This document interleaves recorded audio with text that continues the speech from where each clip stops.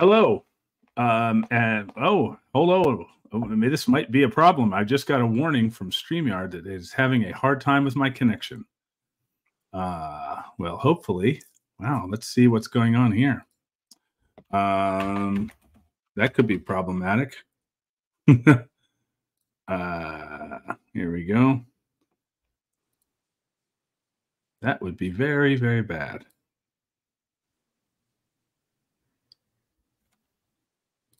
All right.